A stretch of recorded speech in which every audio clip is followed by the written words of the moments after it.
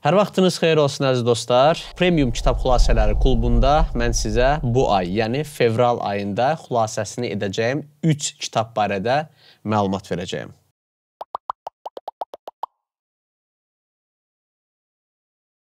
Dostlar, bu ayda digər aylarda olduğu kimi təsadüfi kitablar seçməmişəm. Məs həmişə kitab seçərkən ilk önəm verdiyim məsələ odur ki, bu günləri cəmiyyətimizdə əksər insanların əziyyət çəkdiyi və təbii ki, bizə fayda verəcək mövzular barədə olur. Bu ayda gördüyünüz kimi mən ilk kitabı, bax bu əlimdə tutduğum kitab. Açıqcası bu video çəkilən vaxtı mən bu kitabın cəmi 45 səhifəsini oxumuşam. Tam səmimiyyətlə deyim ki, sizə son 8 ay içərisində elə bir kitab olmayıb ki, mən onu oxuyum və narahat olum. Bax bu kitabda mən bu günləri durmadan 45 səhifə oxumuşam və narahat olmuşam. Bilirsiniz niyə? Çünki bu kitabda inanın ki, bizim bu günləri əziyyət çəkdiyimiz 1, 2, düzəltməyə çalışıb da düzəldə bilmədiyimiz 3, illərdir ki, arzusunda olduğumuz bacarıqların əldə edilməsi, misal üçün ingilis dili öyrənmək, pis vərdişlərdən azad olmaq, nə bilim, yaxşı karyera qurmaq, hətta saatlarla Bu günləri bilirsiniz ki, bizlər əlimizdə telefon, bütün diqqətimiz onun içərisində və müxtəlif sosial şəbəkələrdə Instagram, WhatsApp, Facebook, TikTok və s. istəmirik orada olmaq çox hallarda. Amma yenə də ordayıq. Niyə baş verir bu?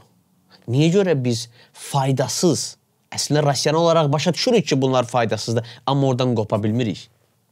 Bunun açıqlamasını verən bu kitab kimi mən ikinci kitab oxumamışam. Bilirsiniz məni tanıyanlar tanıyır ki, psixologiya sahəsində nə qədər mən mütaliələr eləyirəm. Bu kitab barədə çoxdan eşitmişdim və heyfslənirəm ki, mən bu kitabı niyə 3-4 il əvvəl oxumamışam. Və əmin ola bilərsiniz ki, inşallah bu ay kluba üzv olanlar təkcə bu kitabı dinləməklə nə qədər zərərli vərdişlərindən azad olma imkanları əldə edəcəklər. Bilirsiniz necədir? O bizim dilimizdə bir söz var, edir beynimdə sanki klapanlar açıldı. Bax, bu kitab bizə onu verəcək. Və kitabın içərisində mən bayaq dediyimi məni qorxudan amil nədir? Çox məşhur insanlar. Yəni məşhur deyərkən öz sahəsinin əjdahaları, bax alimlər, həkimlər, mühəndislər, vəkillər və s. O insanlar bu kitabı yazan Anna Lembeck, yəni psixiatrdır özü, onun yanına gəlib terapiya görüblər.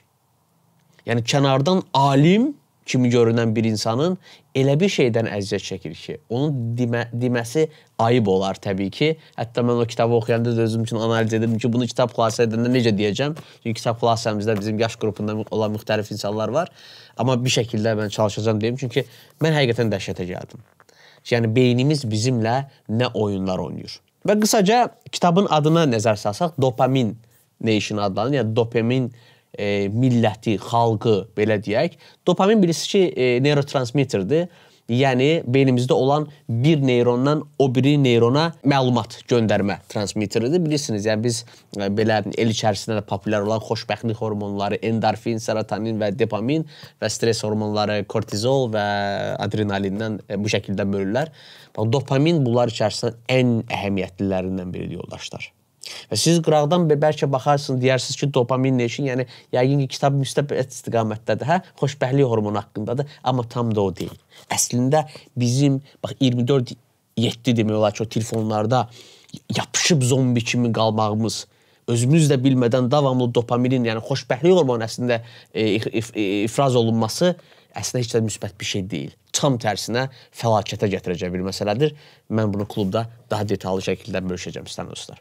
Dostlar, hər birinizi şəxsi inkişaf mövzularında yaratdığım möhtəşəm premium kitab xülasələri platformasına dəvət edirəm. Əgər siz də bu günləri müxtəlif sahələrə aid biznes, marketinq, satış, psixologiya və digər mühüm mövzularda dünyada ən çox satılan kitabların xülasələrini dinləmək istəyirsinizsə, bizim klubumuz məhz elə sizlər üçündür.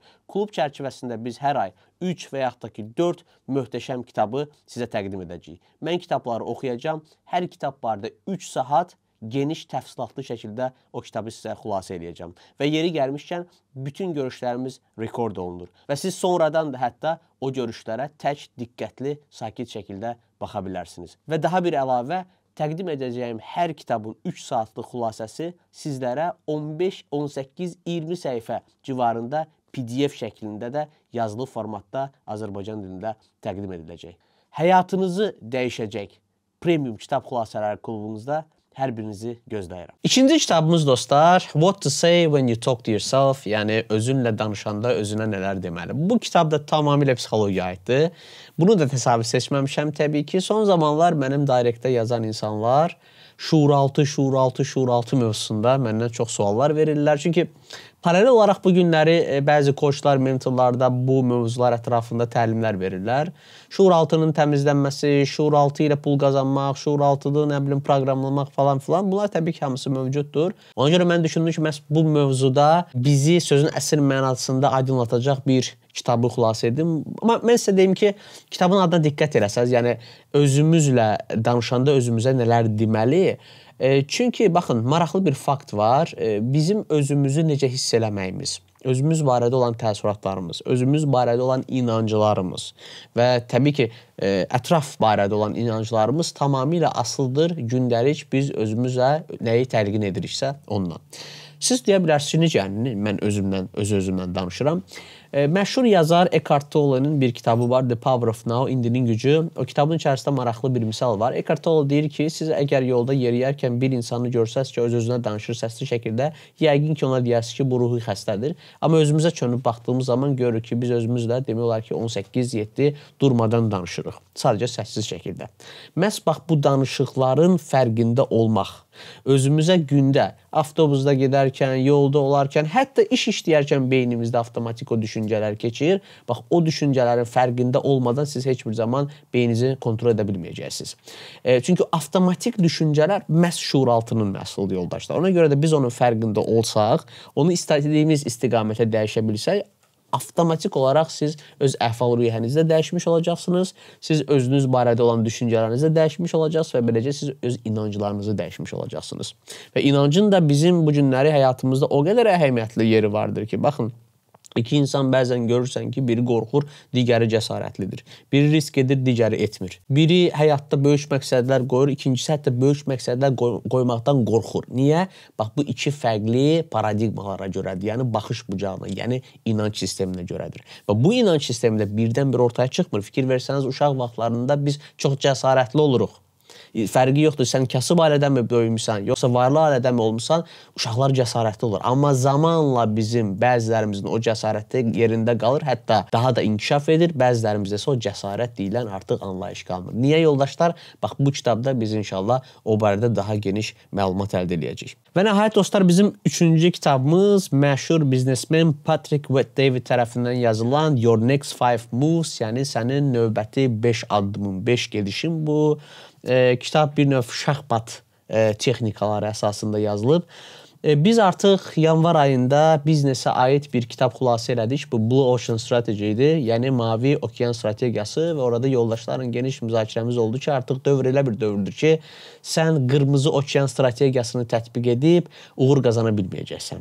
Yəni standart yollar, ənənəvi texnikalarla biz uğur qazana bilmirik. Məsəl üçün, əgər bu günləri eyni insanlar eyni universitetdə eyni şəkildə dərs keçib, eyni şəkildə imtahan verib, eyni şəkildə məzun olurlarsa, onlar bir-birlərinə fərqli fərqli olmayacaqlar. Və onlar dolayısıyla bazarda olan eyni yerlər uğrunda mübarizə aparacaqlar ki, bu da piroqun çox kiçik hissəsidir. Siz piroqun qalan hissəsini kəşf etmək və onu əldə etmək istəyirsinizsə, onlardan fərqli cür hərəkət etməli, fərqli cür düşünməli və fərqli cür icraat etməlisiniz. Bax bu kitabda Your Next 5 Moves, yəni sənin növbəti 5 addımın. Yəni biz baxın kitab çox gözəl bir e, sxemada qurulub. Birinci hissədə understand yourself deyir, özünü dərk. Özünü dərk, dərk etmək nə deməkdir? Yəni biz başa düşməliyik ki, müasir dünyada artıq bayaq da dediyim kimi köhnə texnikalar işə yaramır. Mən 21-ci əsrdə, mən 2023-cü ildə, mən texnologiya dövründə bax bu anlayışları ilk öncə aid eləməliyik ki, ondan sonra ikinci solve problems effectively, yəni qarşımıza çıxacaq problemləri effektiv şəkildə həll edək. Çünki bu günlər əsaslar olsun ki, əksər insanlar problemə bir monster kimi baxırlar, qorxurlar, qaçırlar, problemi bərabərdir stress, problem bərabərdir dərd. Əslində belə deyil. Hər çözülən problem özündən sonra böyük bir mükafat gətirir. Bax bu zehniyyətdə olmaq üçün bundan öncəki understand yourself var idi. Özünü dərkdə sən silahlanarsansa, çünki bugünkü dünyamızda silahlanmaq bilikli olmaq deməkdir. Yəni bilik də bu günləri məktəb, universiteti nəzərdə tutmuram mən. Real praktik həyatda, təcrübə əsasında əldə edilən bilikləri mən nəzərdə tuturam ki, bunu dərk etdiyin halda ikinci mərhələdə solve the problems effectively, yəni problemləri effektiv şəkildə həll edə biləcəksən. Problemləri effektiv şəkildə həll edəndən sonra kitabda artıq üçüncü hissə strategize to scale, yəni artıq uğura gedəcək yolda. Yəni biznesmi quracaqsan, müəllim mi olacaqsan, mühəndis mi olacaqsan, yaxşı həkim mi olacaqsan, strategize to scale, yəni artıq öz biznesində hər dəfə artan istiqamətdə getmək üçün gözəl bir strategiya quracaqsan. Dediyim ki, müasir dünyanın biliklərinə və tələbatlarına cavab verən bir strategiya.